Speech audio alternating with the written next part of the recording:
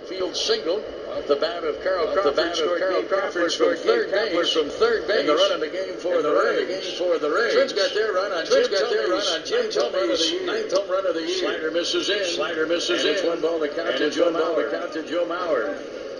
This is Wade Davis's. This is Wade Davis's first start ever against the Twins. Right-hander last year was two and two in six starts. This is his rookie season. Mauer swings and fouls a fastball away off to the left.